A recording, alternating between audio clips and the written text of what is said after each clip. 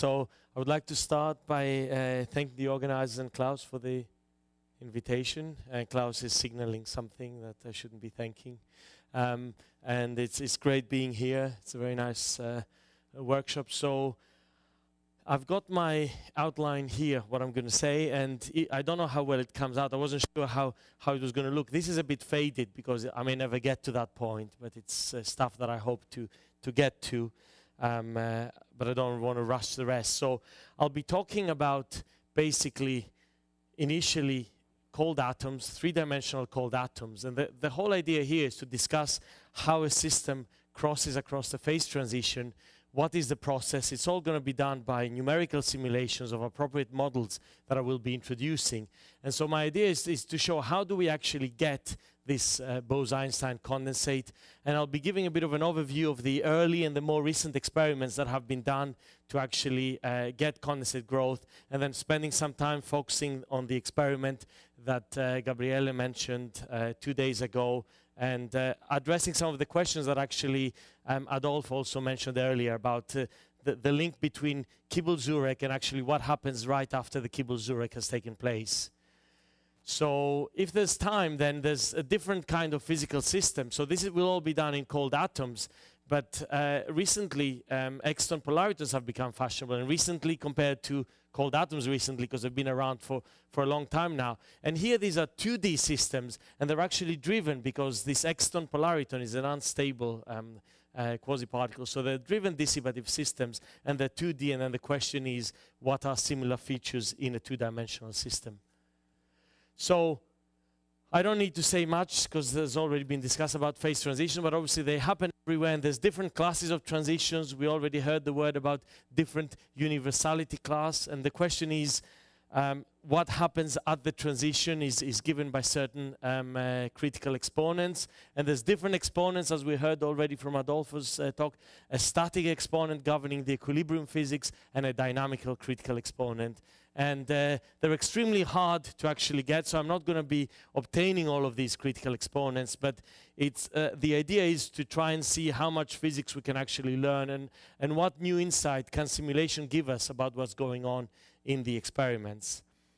And so the system is basically cold atoms. So um, and the idea is I want to mimic this process. So here's a thermal gas after expansion. This is the, the famous image for, for cold atoms that uh, uh, gave the Nobel Prize to uh, Cornell and Wieman.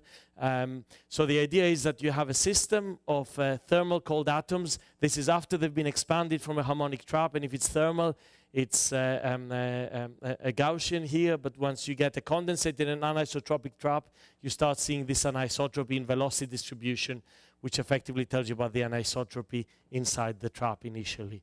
And people can do many different traps. We heard uh, today also about box traps. People are working now uh, with ring traps, and there's a, a, new experimental technique that people can just build any arbitrary potential. So if there's a good reason to build some very weird potential, experimentalists um, uh, can do that.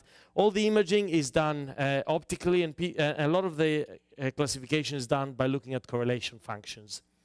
So I was maybe over ambitious that I'm going to get to this part, but, but I'll do the, um, the introduction anyway. It, for these systems of exciton polaritons, so an exciton polariton is an unstable, intrinsically unstable quasi-particle. Basically, the idea is that you have um, quantum wells and you have a, a cavity and you're shining in a laser and there's losses happening. So you have the exciton on the quantum well builds a, a, a short-lived, and when I say short-lived, it's about a picoseconds, quasi-particle with the, the photon there, and this is what's called a, a polariton.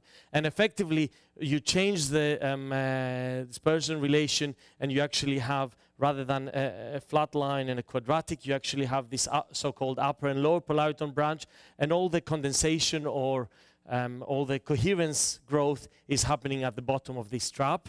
But the quasi-particle itself is actually decaying. So in cold atoms, you can lose atoms from the trap, but the atoms are stable. Here's that the actual thing that's condensing is not stable. And actually, the physics that's probed, I mean, all the early papers talk about exciton polariton condensation, but really it is two-dimensional systems. So the physics that is probed here is this Berezinski-Kosterlitz-Thouless transition associated with vortex, uh, anti-vortex uh, pairs and unbinding. And of course, such a transition has been seen in, in cold atoms, and I don't know if you were involved in, at all in this. So Cambridge Group did some uh, 2D stuff, so my chairman was also involved in that. So um, we've already seen this expression. So let's assume we have equilibrium, and the system is approaching equilibrium. Well, then the, uh, the coherence length of the system diverges as you're approaching the critical uh, region, and there's a critical exponent governing that. And here's the experiment from cold atoms from 10 years ago uh, showing basically, well, this is a cartoon actually from the experiment. I'll show you the, uh, the other thing in a minute, showing how the correlation function basically changes as a function of temperature. We're really dealing in the region of the um, uh, transition, and then you can see how the correlation length, this is the correlation function, these blue lines, and you can see how the correlation length is diverging as you approach uh, the equilibrium.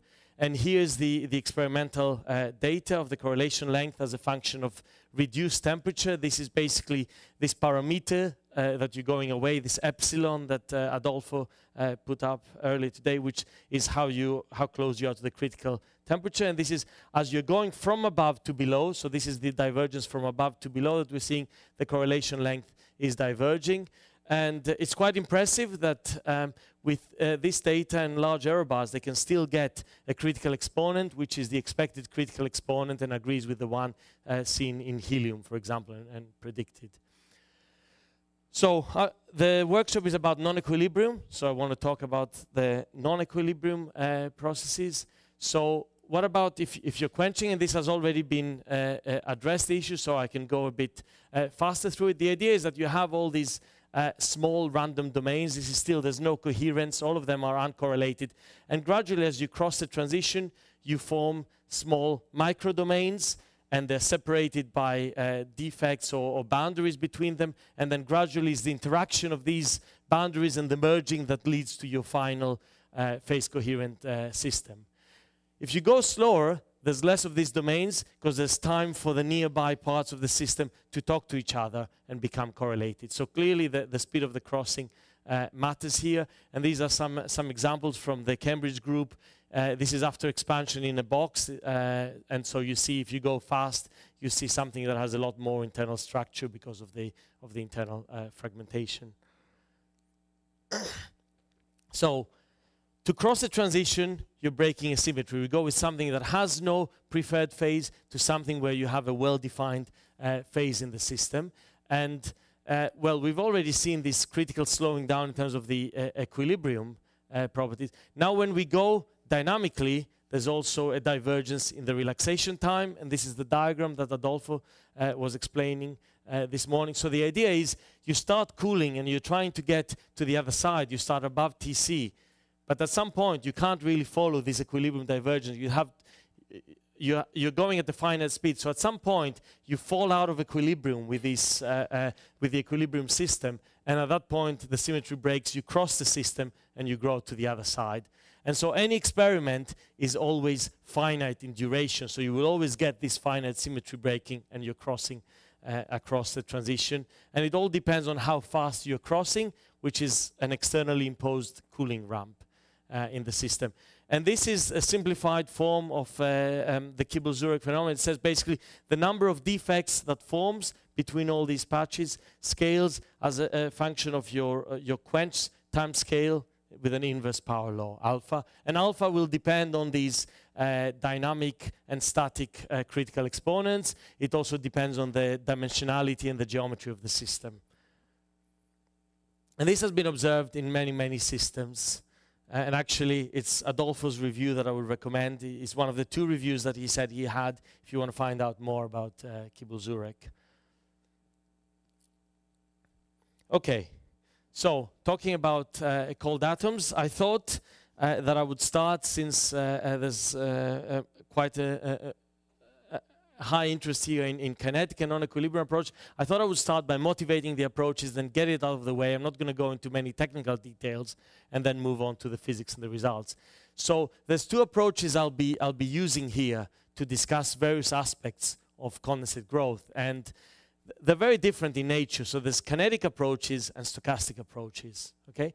In the kinetic approaches, it's like a, a two-fluid model in helium. You assume you have a condensate. This is a phase coherent structure, and then everything else that you're describing is the non-condensate, which we just say is the thermal cloud, basically. And so you have this system coupled. So this is what you would use uh, more routinely in condensed matter, but this relies on symmetry breaking. So I'm saying when I take my Bose field operator, I actually have a part which has a well-defined phase, and then I have the rest of the stuff where the interesting physics is happening, the, the, the thermal cloud that is coupled to it.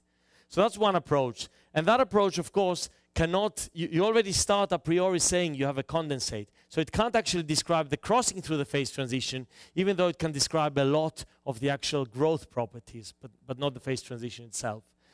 The other approach is a stochastic approach.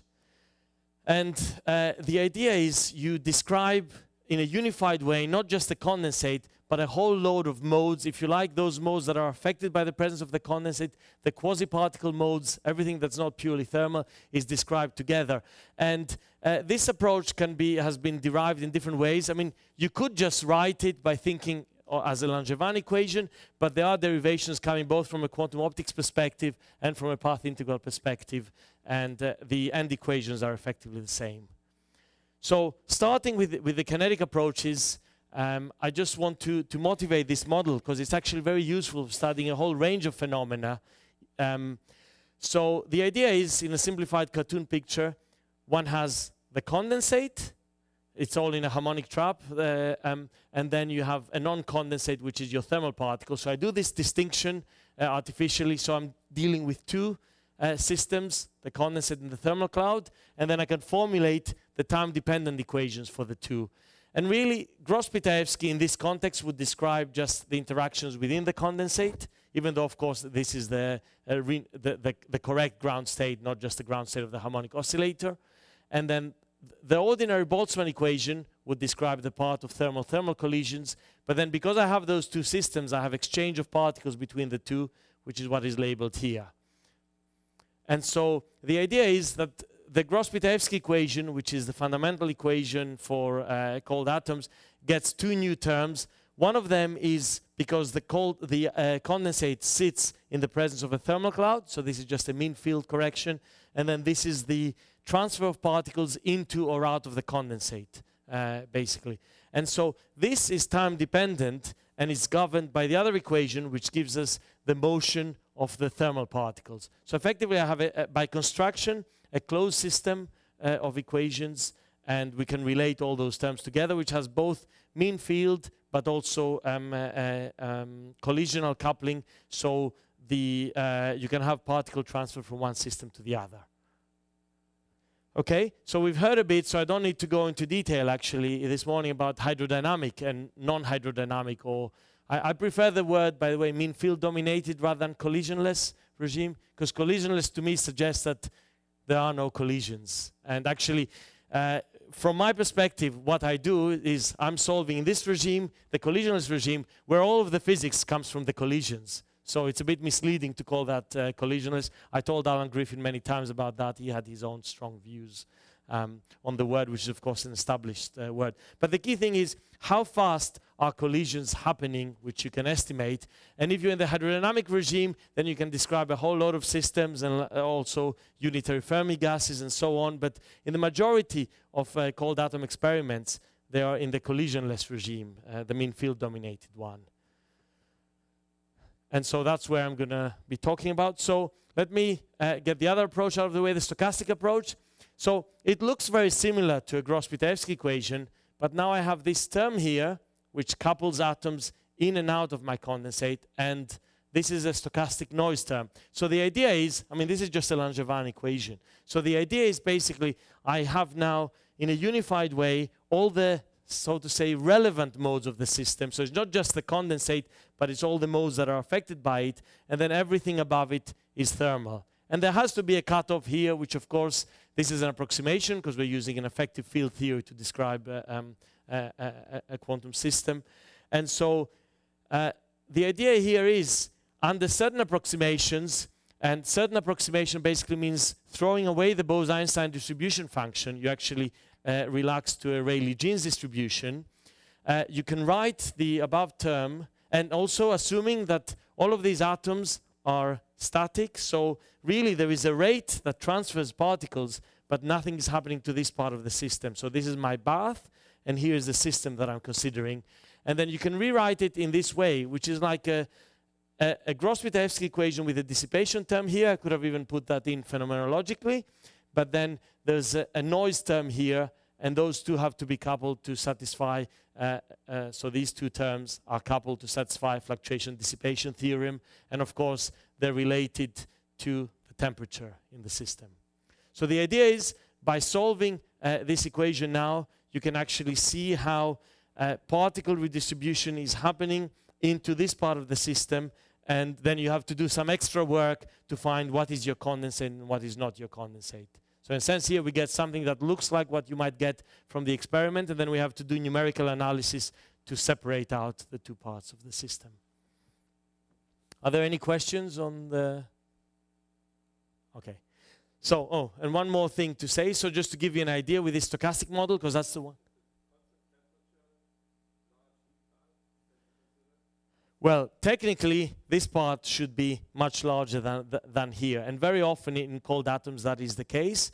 But of course, when you go to different geometries, like I'll be considering a quasi-1D geometry, uh, it really depends on whether you have many particles in it, for example, or not. How large is, is, is your static bath? In, in, the things I'm considering, there is still a, a large number of atoms up here. But I wouldn't necessarily say that the population here is really, really small compared to that. So it is an approximation the, the idea is that these are primarily thermal as well, these modes. So in a sense, I'm still taking account of some thermal uh, dynamics, but not the full set. So these modes here are scarcely populated, less than, say, one per mode. So that's why you can throw away the dynamics. But it is an approximation, of course. It's not... Uh, sorry? Ah, so you solve th this equation is easy to solve numerically. So you basically uh, start with with a noise seed, and you can work out analytically what you would expect that uh, that noise to be, and then you just propagate in time. Uh,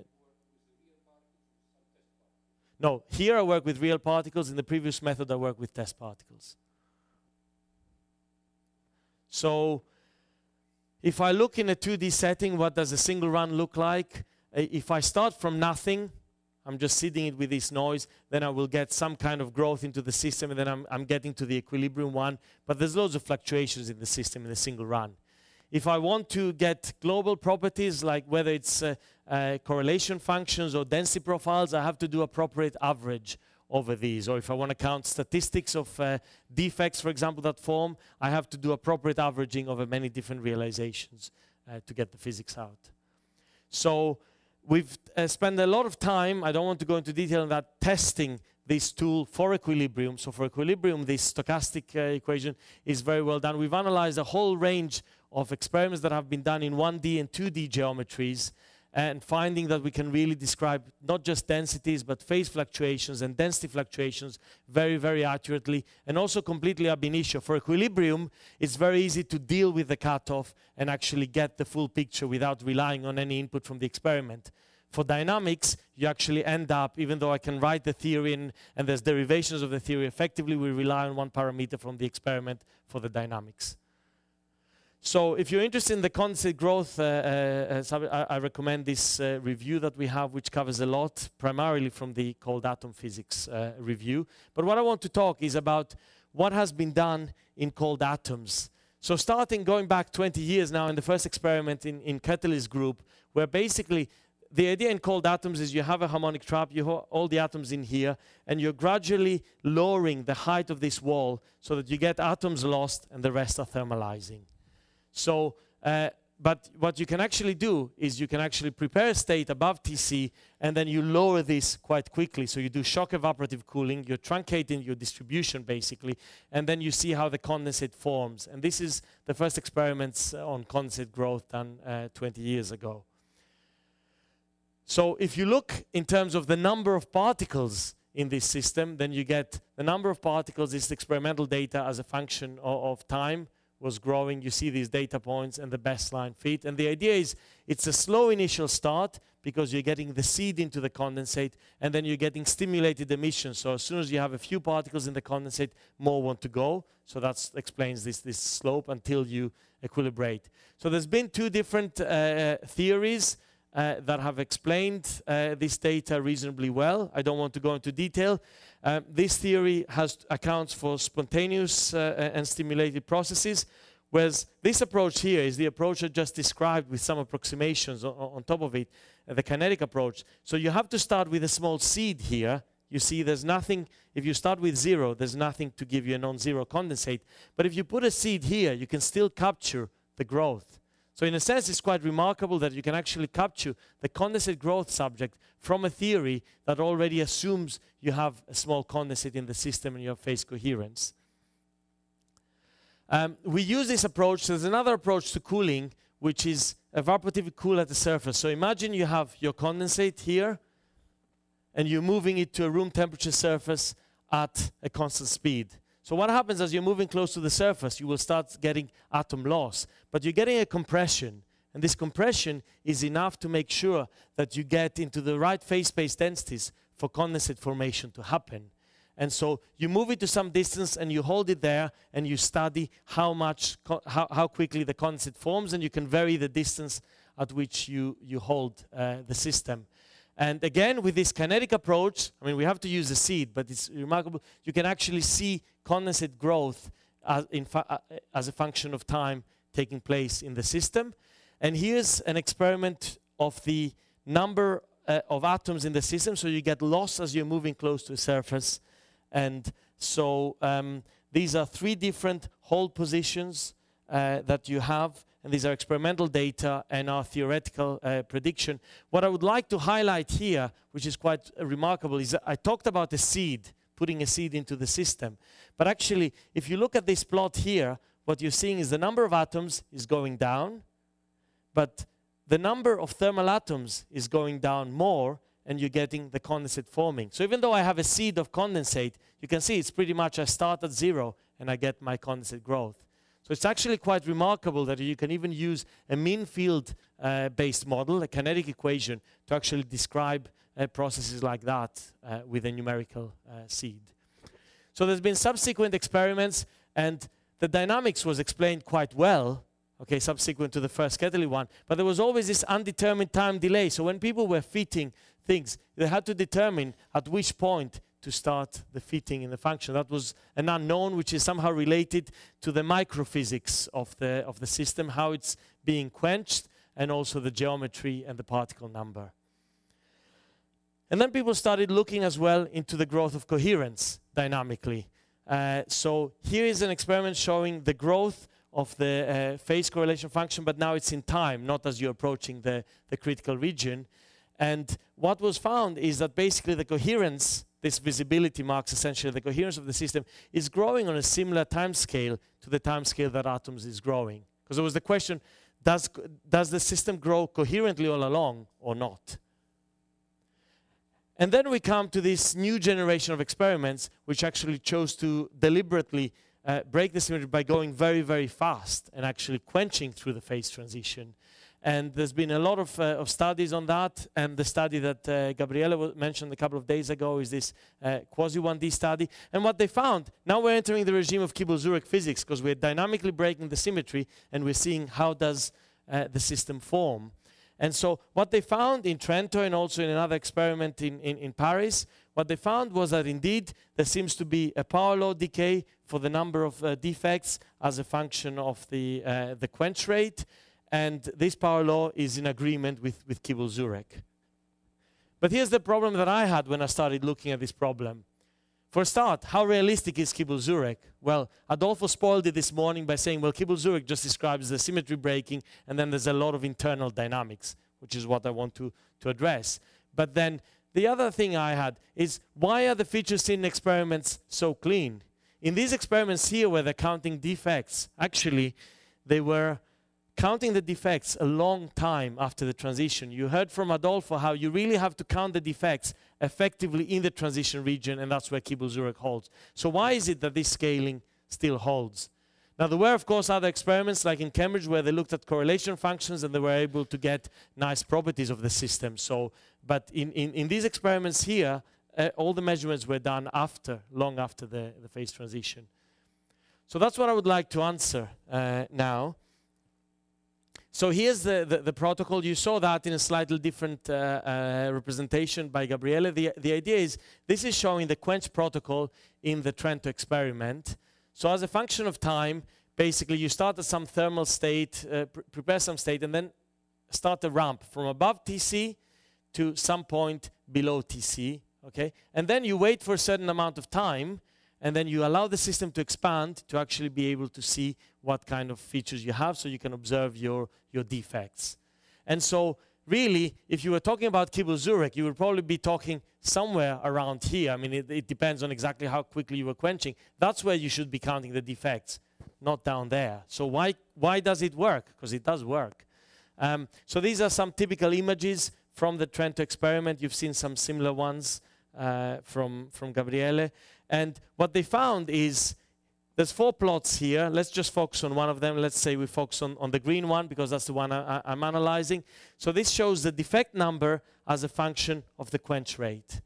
Okay? If the quench is very, very fast, you get a saturation. You can't have too many defects in the growing system. Adolfo already touched on that. So here's the saturation of the number of defects. But when the quench is not extremely fast, it's, not, it, it's, it's much slower than instantaneous, then you see a power law scaling. Okay? What is shown here, the four different graphs are, are, showing how quasi 1D the system is. So this is the aspect ratio, so it's the ratio effectively of the transverse to the um, uh, longitudinal uh, size or, or, or, trapping frequency. Um, so the idea is that th they're all a bit different, but, but they're all similar in some sense. They all fall within the expected range. It's not exactly clear what Kibble-Zurek would predict here. We have an inhomogeneous system, and uh, also the defects that are here are not really solitons, they're not really vortices. So there are predictions for a homogeneous system with a soliton and a vortex. Here it's a bit more complicated, but all of these are consistent with uh, the interpretation that it's something between a soliton and a vortex. So what I would like to show you here, and I need to exit this mode for a second, otherwise it doesn't play, um, is show you a movie of what our stochastic simulations uh, give. So what, what I'm doing, let me explain what this movie is showing here. So I start with a thermal state. So I don't start with nothing in my atom. I start with a thermal state above Tc and I'm quenching at a linear rate to below Tc. And what is shown here is a density isosurface. So I'm, I'm seeing this fragmentation. This is just loads of noise. If I would cut and look at it, it's just basically noise distributed. And as I'm cooling, I will actually, uh, at the linear rate, I will actually see the formation of defects.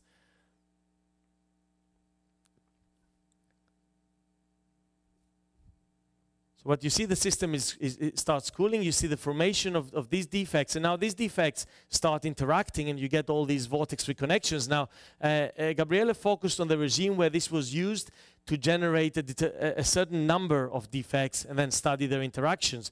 But here we're studying the process of how the system gets there. And you see there's a very sudden crossing of the phase transition, loads of defects, but we can't really count them at that point. And then there's this whole evolution.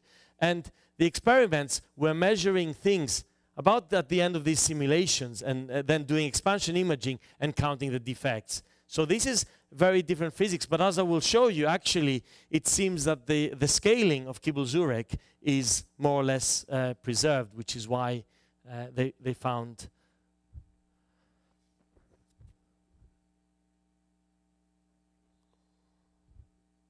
Okay. So if I now try, the movie runs fast, if I now try to show you basically what's going on. So at some point, we start seeing from this very broad and noisy distribution, we start seeing a narrowing into the distribution. We know as we start to condense, we have a narrowing uh, a, uh, of the distribution. And so we see that, and we see all this noise coming. These are all the defects. This is about the time when I should be counting the defects if I was interested in looking at Kibble-Zurek. Of course, even numerically, this is a very challenging thing to count this number of defects. If I take a cut, maybe, then I can have a well-defined number uh, counting. But here, they're all very intricate. So what happens uh, during the process, then eventually a condensate emerges and it's got all those defects. And you can see how hard it is still to count the defects. I don't know how many defects those are, but clearly reconnections are playing a key role. And then what goes on? There's all these reconnections, and of course defects can be lost, and the system is growing at the same time. So it's growing vertically, it's already more or less relaxed, but uh, uh, axially, it's still growing. And then in the end, you're left with this regime where you just have few defects, and that's the regime that uh, Gabriele was focusing uh, in his talk. And eventually, you get equilibration, so you get a nice formed condensate. Now, in all the simulations I've done, I've started from a given initial condition and gone to a given final condition. So my condensate for all the different rates is always the same at the end once I will equilibrate it, just to be able to keep track of what's going on. Um, so here's just a, a close-up of the snapshot of crossing the phase transition. You can see all these random uh, defects emerging, and it happens very, very fast. And then after that, you see these green regions. These are high density regions. So you start forming pockets of condensates here and there, but they all have different phase. And gradually, as the defects are dying away, the phase is unifying, and then you get this, uh, this picture here. But it's a very complicated process because the system is growing, so there's an axial and radial expansion. This is also stretching these defects. And there's also reconnections, and defects can also be lost at the edges in what uh, uh, Gabriele and, co- uh, and co-workers called um, a vortex ejection. So here's an example of all these nice reconnections, and this is in answer to, to the question that there was on Gabriele's talk about whether you ever see rings appear. So here's a ring appearing transiently during the evolution. It's not a well-formed ring, but it happens uh, during the evolution. So to model the experiment, then we want to get growth curves. And this is all now, everything I'm showing you, of course, is with a stochastic approach, so we don't have a problem with seeding uh, the condensate. But there's still a question at what point do we start comparing with experiment? I mean, it's very hard to define TC, and anyway, this is an inhomogeneous system, so the uh, condensation is not happening always at the same position. T, uh, uh T over TC is varying uh, as a function of position in real time. So the idea is we take a measure that is sensible in experiments, so we can equilibrate. So we choose a certain fraction of the final condensate fraction and we say that's when in the experiment you could actually detect that you had a condensate. Because at the beginning it's very noisy, you wouldn't be able to see you have a condensate. And so we fixed our fraction to the experimental uh, fraction here, and that gave us this shift. You see this is labeled in time minus TBEC, which is the time when we fix, when we get a certain fraction. And so what you see is for different cooling rates, all the symbols, the black symbols are experimental data. And of course, the final state in the experiment varied from run to run, but we took a fixed final state. That's why they always go to the same, uh, simulations go to the same final point. But the idea was that we, in each of these plots, we show cooling rates which are a bit above and a bit below the experimental ones. And what you can see is that in this range of cooling rates, we have very good agreement in the growth with the experiment. Okay, so we have two independent time scales. One is this time scale that we say when has the condensate formed. This is not the same time scale as T hat in Kibble-Zurek. In fact, it's much after uh, T hat. This is the time when you see a well-formed condensate that you could observe. And its definition is somewhat arbitrary because if you get better resolution, you can detect smaller condensates, that, then that time would shift. But all the scalings we find are independent of that. And then there's a growth time scale, which just has to do with fitting all of these growth curves with an S-shaped curve. So this is just a shape that we get, and it's independent of whether we have uh, shifted the graphs or not. So these are two independent uh, time scales. So here's a snapshot in the evolution of the defect type. And if I now look at cuts, just to try and understand what's going on, if you look at cuts in the 2D planes, well, this is, this is the y equals 0 plane, sorry, that's shown in, in the cuts. And if you look at the integrated 1D density, you see really that you get these individual uh, defects. They're washed out when you integrate, so you don't see them as deep. If you would take a cut, which you can only do in, ideally in theory, then you see very clear uh, defects. But as time goes on, this random patch in the phase emerges to something which is very clean. Okay? And you have a few defects, you have a well-formed condensate, and you have these phase profiles. And this is a 2 pi phase winding, except it's not symmetric as you go around, but it's, it's stretched. And that has to do with the geometry. Uh, Gabriele already explained that. The idea is that you have a solitonic vortex in the system which has a 2 pi phase winding, so it's not a soliton, but actually it is a squashed uh, uh, phase winding. And that has to do with the geometry of the system. Okay, so what about this dependence on the quench rate? Here's an illustration of one single run for each of uh, different quenches. And these are realistic duration quenches from 84 milliseconds to 600 milliseconds, the quenches. They start at the same time, and we're seeing what happens. So we see two things. Firstly, there's a slower crossing of the phase transition as you're going. So in, in terms of real time, this system crossed the phase transition slower than here. Also, at a later time, you see you have more defects uh, in the fast um, in the fast quench than in the slow quench. Of course, that will vary from run to run, the exact number of defects, so I'm going to do some statistics uh, in a minute. And the other thing you see, which is quite important, is actually it relates to one of the questions when people started studying condensate growth experiments, is how coherent does the system form? Actually, if you go very slowly, most of the time, the system, once you can detect it, is really coherent. It doesn't really have any defects. If you go adiabatically slowly, you'll get no defects in the system. Whereas if you quench, you always end up with some defects. And this is related to the issue of how you go from above TC to a condensate through a so-called quasi-condensate phase, where there's local patches and, and the phase is not constant across the system. So if we now do some statistics and we look at the number of defects as a function of our time from this uh, uh, defined phase transition, we see that at the beginning we have a large number. It depends, of course, on how fast the quench rate is. It's faster for, for faster quench rates. But there's a very rapid decay region where all these, there's a lot of defects in a small region, and so they die away. And in the end, you get a few defects, a handful of defects left, and they are long-lived. They're long-lived because you have a very large sample, you have a few defects, and so most of the time they spend their time going around in the trap and only occasionally they're reconnecting. And also you see this saturation that I mentioned and was observed in the experiment that if you try to go faster and faster, you don't really, after a long time, get many defects. So if we look at this part here where uh, the defect number saturates after a long evolution time, then we can go back to this experimental curve that we had before, these black points I'm showing here, the number of defects as a function of a quench rate or inverse cooling rate. And what we can look at is at different times in the evolution, how does this pattern change? And what we find is sure enough, we see that there's a plateau in the number of defects for very fast quenches because this is not a Kibble-Zurek regime. Here we see something that resembles Kibble-Zurek, we don't have enough statistics to get a, a, an exact exponent. But anyway, the exponent is irrelevant unless you measure a t hat, actually, in my opinion.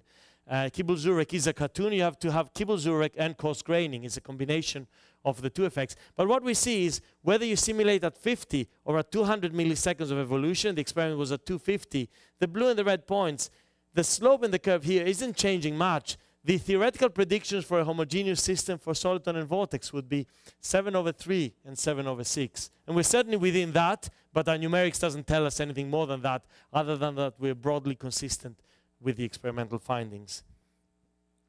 So let me now address the, the, the, the, coherence issues. So we want to look at how coherence grows into the system. And here we are, we are motivated by the uh, work that was done at Cambridge in a box. And we try to look at coherence by choosing a central region, then shifting that region and correlating it with the system and trying to see basically the correlation length uh, that way. And so at the beginning, we're above TC. We have essentially no coherence both uh, our initial state in the dynamical and the equilibrium correlation function is the same.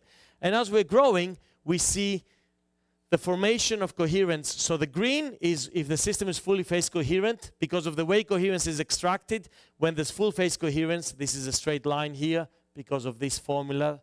Um, but as it's growing, you can see for a slow ramp, it grows rather quickly and it becomes fully phase coherent. Whereas for a faster ramp, because there's all these uh, uh, defects in the system and the phase hasn't equilibrated, it takes a very, very long time to relax. So you really see the difference in the equilibration of the correlation function and uh, the relaxation of the system to something phase coherent. So here essentially you're growing almost into something phase coherent and here you have a lot of defects in the system. And now we can try to make a this a bit more quantitative. And so I had all these different growth curves I had two independent time scales, TBC and tau g. And now I plot all of those different curves onto one. And you see you can collapse. If you measure, if you scale to the intrinsic growth time scale, all the curves fall on top of each other. But now I want to see how correlated are this, how much coherence do this system have, and I call this recoherence in the sense the system starts, it's close to equilibrium, it falls out of equilibrium at Tc, and then it gradually relaxes to equilibrium again. And so I, I define this measure, which tells us how different is the dynamical from the equilibrium one scale to the equilibrium. And so here's what we see, exactly on the same time scale. So we see that even though the, the growth of what uh, we have defined as, as a condensate is really all following the same growth dynamics, you can see that for the very slow quenches, you can see that this has reached, this is fully non-coherent, this is effectively the moment of the phase transition, and this is where it has uh, equilibrated to a fully phase coherent condensate. So this happens about five in these scaled units, and this is about the same time as the density uh, uh, reaching maximum. But if you go faster and faster because of all the defects that are there, they don't allow uniform phase coherence across, and you see it takes a lot longer for the system to reach equilibrium uh, in the end. And so we see this decoupling going back to the question of uh, that, that, was asked earlier in one of the experiments about the interplay between the growth in number and coherence. You see here with appropriate uh, definition, the number growth is all the same, but the coherence is very different because it's growing with phase fluctuations. So I think because I'm, I'm, I'm, uh, I've run out of time, basically, I would like to uh, make sure I just conclude with giving you this, this message that I wanted to, to, show. So we started with a thermal gas above TC, and we equilibrated to a finite temperature BEC. I mean, this is not a pure BEC. There's still uh, a large thermal fraction here. And depending on how fast or slow we go, the growth can happen much after the ramp has, has finished. And uh, that's when uh, everything happens. And you have a lot more defects. But if you go very slow, you grow into a phase coherent condensate basically. And the person who did uh, most of the simulations I've shown here is, is Gary Liu, shared between me and uh, his actual supervisor and boss, who's Shih-Chuan Gou in Taiwan. And then it's been done jointly with all the experimentalists and, and Gabriele, who, who's here. And I didn't have time to talk about the polariton part. I, I, wanted to shamelessly also advertise my books. Um, so if you're interested in methods, most of the chapters are, by the way, that's my excuse, on the arXiv. So if you know that there's a chapter, you can look at the contents and then look for the chapter on arXiv. So if you're interested in methods for cold gases, these are all edited books. Uh, there's, the, there's this book here and some review articles. And if you're interested in the issue of general Bose-Einstein condensation across different energy and length scales all the way to the astrophysical, then this is a, recent book that has uh, come out. And, uh, well, I didn't have time to talk about um, polaritons, and uh, I will leave it as that. But I want to just mention that we have actually done a whole analysis. There's an arXiv paper, if you're interested in, in these exciton polaritons, where we really looked at both Kibble-Zurek and long-time phase ordering kinetics, and we can extract the dynamical critical exponent with, with very, very good accuracy for those systems. Thank you for your attention.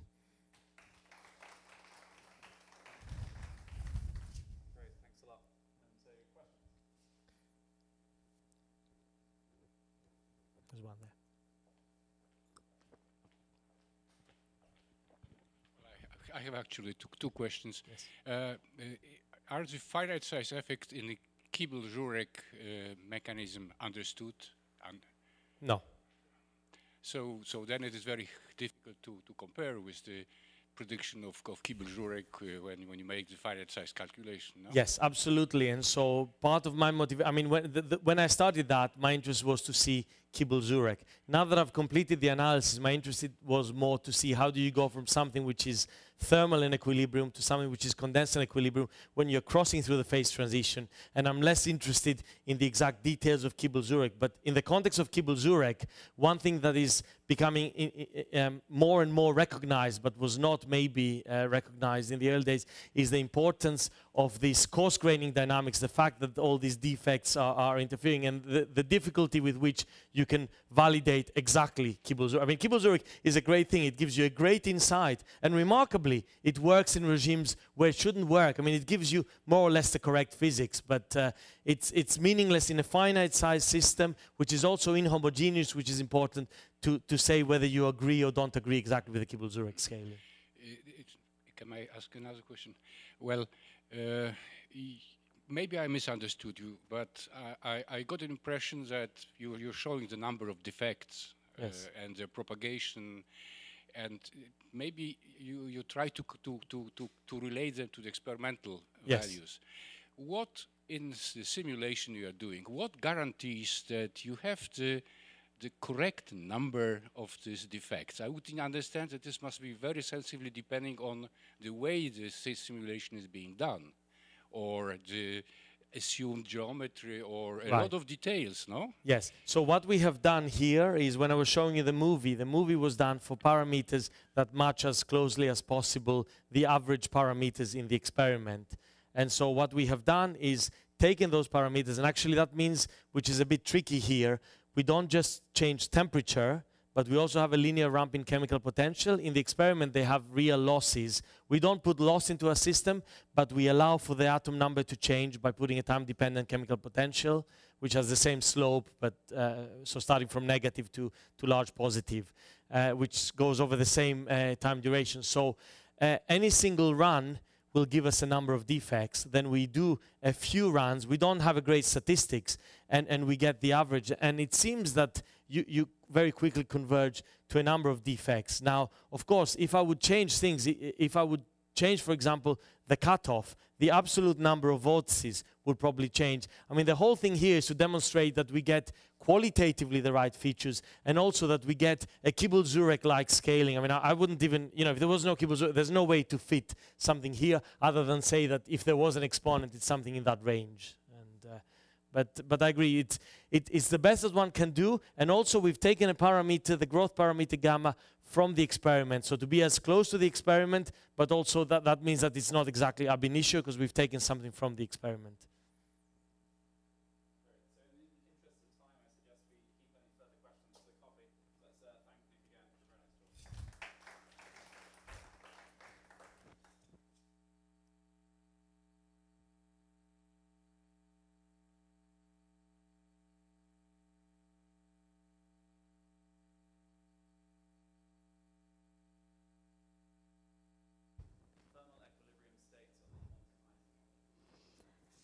Thank you. Uh, I would like first to glad the the conference for giving me the opportunity of giving this talk. Um, I am from University Federal University of Minas Gerais. Uh, here we have a picture of the sightseeing of the roof of our building. Um, here is our group meeting, uh, our group research, the Enlight entanglement and quantum and and quantum optical theory. Uh, this work was made with uh, these two collaborators. Alberto Paolo is another student, PhD student from my university, and Raphael Drumond, which is in this conference and is my advisor. Um,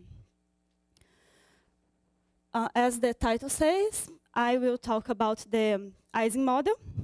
Here I'm considering uh, the Ising model given by this Hamiltonian, which I have interaction between, I have a LEDs, and I have interaction between first net bars of these LEDs. And I'm considering only transverse, transverse external magnetic fields. Uh, it's more standard to consider only in the x direction, but I can also consider in the y direction these external magnetic fields. Uh, so they still are transverse uh, comparing with the interactions, but they do not need to be all in the same direction.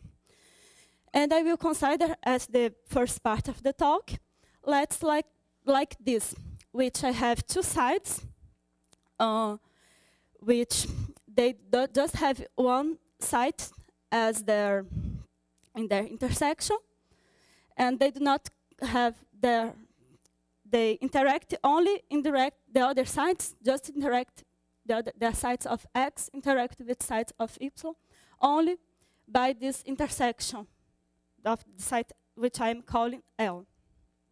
Um, so what is the shielding property? Um, it is for systems described by the transverse Ising model, which is in the, the Gibbs state. Given by this formula, where bet is the inverse of temperature. And I will consider the external magnetic field null in the side of the middle, the intersection between the, the two sides, there is no magnetic field there. So we have shown that the reduced state of one side has no dependence on the parameters of the other side. That is, the, the reduced state of this set here has no dependence on the interactions between sides of X, neither the magnetic field is applied here. It is surprising because you, can, you could have a really strong interaction, as big as you want, and this, the, this reduced state cannot detect this. Um, I will show a sketch of the proof because it's short, it's easy, and it's beautiful. Um, for showing this sketch, I will consider um, I will consider um, simpler, a simpler, a particular case where I have just the I just have the magnetic the magnetic fields in the x direction, and I am will consider the, that the LEDs that my LEDs is R10. Here I am labeling the the, the number of each site, and I will make, we will choose some sites to make this external magnetic field null. Um, so I wish to show that this side has no dependence on here, or on this other side, and Hamiltonian with two terms. H line is the Hamiltonian, the part of the Hamiltonian, the terms of this side of the left side of the chain, and H2 lines the, the parameters of the terms of the this other side. Um, so I have that the, here I'm considering the Gibbs states without normalization. I will not I will not care with with normalizations now. It will be done at the end. Uh, so exponential of the Hamiltonian, I can multiply these two terms since these two terms will commute. I'm doing the, I will not have sigma x here, so these two sides will commute. Um, to calculate the partial trace here, the reduced state here, I have to calculate the partial trace of, of my state. Um, so, uh, using this separation here, I can show that this the partial trace, I have just to calculate the partial trace of H line. Uh, here, I'm hiding some details of this calculation, not directed like this. So, what I will show is that this term here is proportional to the identity operator. So, it's being proportional to the identity operator. I will perform normalizations, and then I will have just um, this term here at the for the describing my partial my my partial state, my the reduced state. Here I wrote what I just tell. Um, so to making that, so I will now I will try to show that this quantity here is proportional to the identity operator. To make that, I will use the series expansion of the exponential. So, to show that this quantity is proportional to the identity, I just have to show that it, every power of h line, the partial trace of the powers of h line is proportional to the identity operator. Uh, remember that h line is the sum of is is the sum of the, the sites 1 to L, the interactions between the first the sites of the left side of the chain. Um, to explain uh, the technique that I used to show this, I will use, I will use a particular case where I will set the, the external magnetic field null at the third site. So I have to calculate the partial trace only on sites 1 and 2. And um, I will specify more. I will set n equal 3, just to show the idea. Um, then each, each line elevated by 3, it's, it's this expression for this these three sites. And I have to calculate the partial trace of space of site 1 and 2. Um, performing this calculation here, I would get this big formula that can be seen that as the sum of two terms. One, the first term there, the, the first terms, I have the operator in the third site equal identity. And this last one, this, this last one, I will have the operator of the third side equal 3. I have to show that these terms here, the partial trace, will be equal 0. Here will be another constant. After normalization, this constant will disappear. But here, in this example, we could make direct calculations and show that this is 0. I will just, I will just, I will choose this term here to show the method. This term, this last one, which I have chosen, is the multiplication of this term, this term, and after this other term. I will make this product like this. Here is my chain, and you will associate like a game board to this chain. For the first, just for the sides of the left, one and two, I associate two squares. And that, that side where I make the magnetic field zero, I will associate one line. Each of one of these corners will represent one operator, sigma z, sigma y, sigma x, and identity. And here, just sigma z and identity. Um, I will write here that operators that I want to make the, the they are sigma z 1 times sigma x in site 2 times sigma z in site 2, sigma z in site 3. So here I'm representing the first, the, the first terms. They are sigma 1, sigma 1, and identity. It's like I'm putting white pieces in this game board. Now I will multiply by sigma x. Then, multiplying by sigma x, it is in the side 2. So just the second piece will move. It will move down here. It will be proportional to sigma y. Now I will perform the third term. I will multiply the third term. And it, this piece here will move to the right, and this other piece will move to the left, perform my, my multiplication. Note that always that I multiply some some piece by sigma z, it will go to the, it will change their side. It will move to the left or to the right. Do not matter its position. When I multiply by sigma x, it will just change its height. Note that I always, sigma z and sigma, always sigma z in my calculation here, in my H line 3, appears just with pairs. They do not appear alone.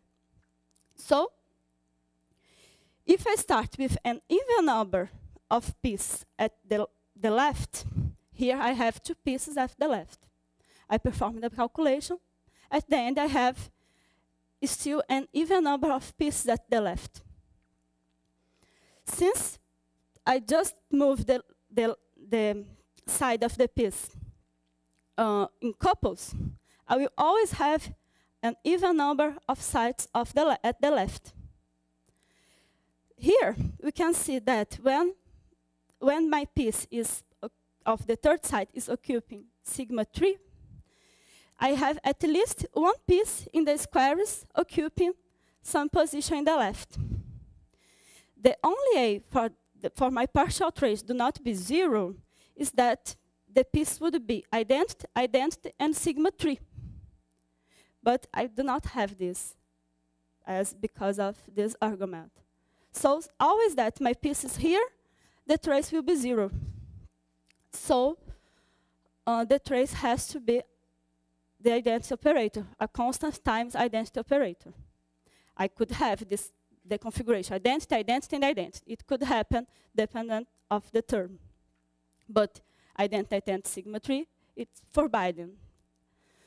Um, this is this argument can be quite generate quite it can be can be done for this lattice also, which I have only one side here. I just would take associate another game board for this lattice um, and use the same argument. Always that I have this piece here, one of the pieces of this one of this square at least has to be have a piece at the left. Um, so with this argument, we prove that the reduced state here has no dependence on the parameters of this other side. Um, as the ground, the Gibbs state, it goes to, it tends to the ground state when the temperature is made, is goes to zero. When I make beta tends to infinity. So this property also works for ground states. Um, this property is a property of the transverse Ising model. If I have here, I have a counter, a counter example that I, I have a Hamiltonian, which has a field per, long, per um, longitudinal, longitudinal field. It is in the same direction of the interactions. And we can show that the reduced state, uh, here I have a, a chain also, and I apply a magnetic field at the first site. We can show that the reduced state of the last site is dependent of the, this magnetic field. So this property is special of the transverse Ising model. Um, it, one way of understanding better this property is using the duality of the transverse Ising model. We write, we write the operators, we define another operators using my, the Pauli operators. And we can rewrite the Hamiltonian of the model in this way such that J will perform the the interactions will become the magnetic fields in this dual site, and H will be now the new interactions. That is, I am related a dual a dual lattice a dual a dual chain, where when I apply the magnetic field here equals zero, it's the same as cutting off the interaction between two sides of this dual chain. So it's more visual to understand that this side has no dependence on this other side. Um, we, our proof work only when we have one side in the intersection between two sides. But we could ask what it would happen if we have more sides in the interaction. Here is a picture where, uh, where x, x, one side of now the lattice is this black set, it's black set and the with the red one, and y would be the red with the blue. If I made the external magnetic field here equal zero in this red set, this set here would fill the, if I change the parameters here, uh, the answer is no, and we can show this, this with this with the simple example, where here it's my interface, here is one set, and here's the other one. Here, 2, 3, and 4 would be the y set, and 1, 2, and 3 would be the x set. Uh, so making this here external magnetic field null, we can show that um, the reduced state here on site 4 is has dependence on the magnetic field applied on site 1. Uh, here is the some calculations for different values of beta. Here I am varying the magnetic field on site 1, and here I'm observing the, the, mag the magnetization on site 4.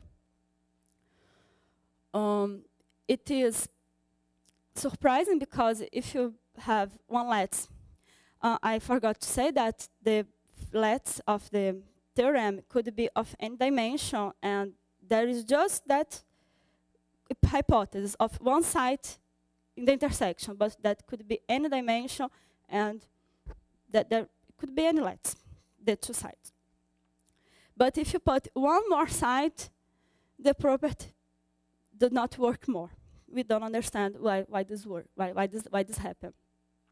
Um, so, but when beta tends to infinity, the temperature goes to zero, we can show that the reduced state still has no dependence of, of the other side. Um, so in this example, at least, the shielding property still works for ground states. Um, and now we ask, does shielding property work for ground states of other lights? Uh, we have done some numerical calculations with other examples here, which I show a LEDs where we have made in these three sites the external magnetic field null. Here we have changed the parameters and we have look for the magnetization in the site. And here we can see that in the blue sites, the magnet, the, we change the parameters, but here it is still the same.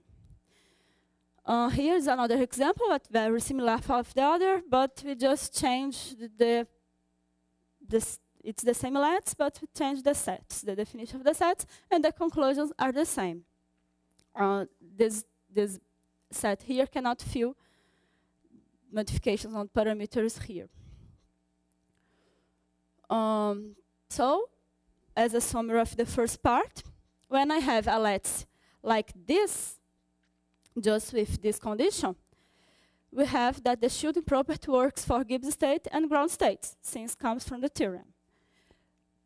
When I have a more general lattice, we already know that Gibbs state does not work, but about grounding state, we do not know yet. Um, another approach for this, this lattice here is to ask about dynamics. Now, I am dealing with n Hamiltonian such that it is a sum of two terms, a term of side which is non-trivial only inside side x, only inside set x, that is, it is a Hamiltonian non-trivial only inside this part, and this is a non-trivial outside in the blue part and red part, the set y. And we ask that this both Hamiltonians, these both terms to commute.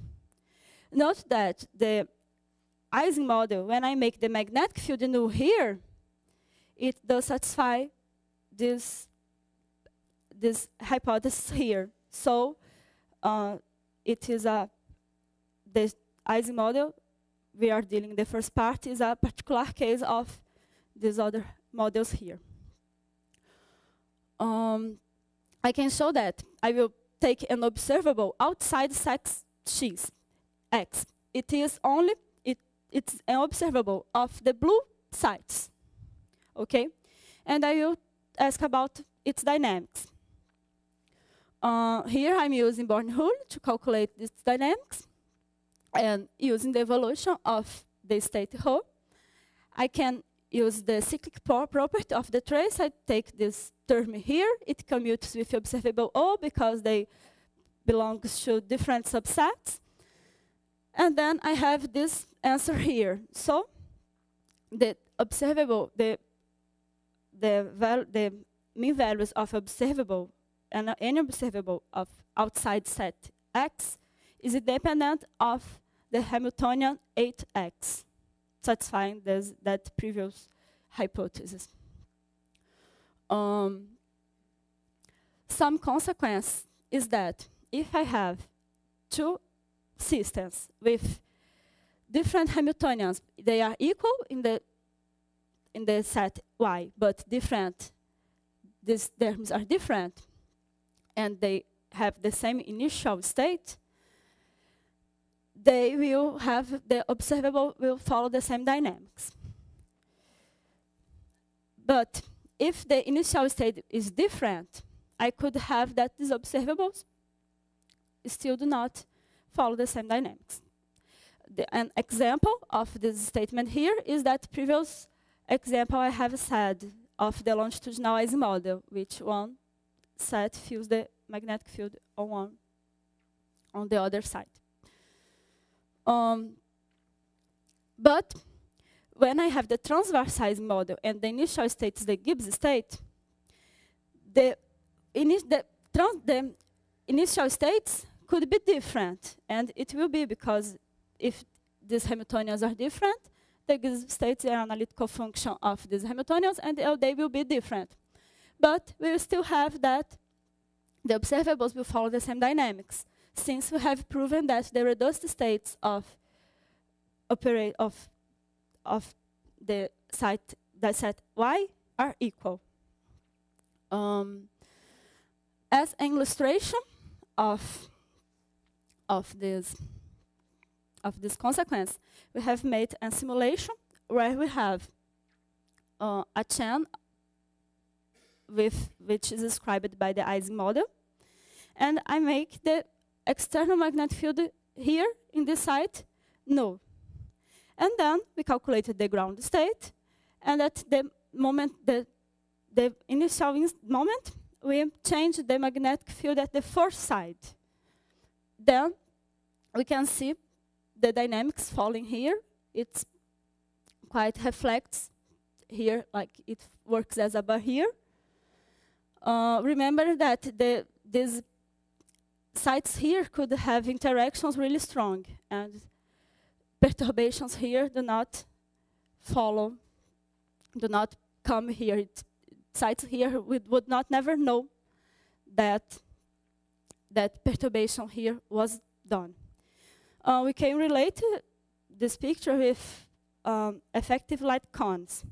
Uh, as here, I have an illustration of an effective light, light cone, which is already well known in literature that systems which have short-range interaction has a finite velocity of propagation for local quantities.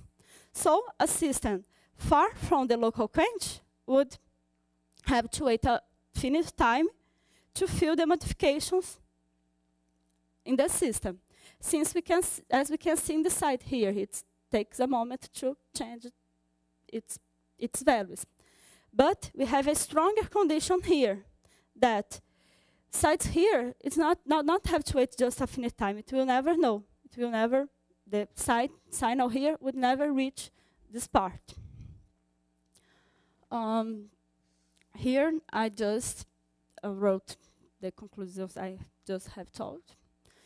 Um, I finish here. Here my acknowledgements. I thank you for your attention. And I finish with a beautiful winter in Belo Horizonte.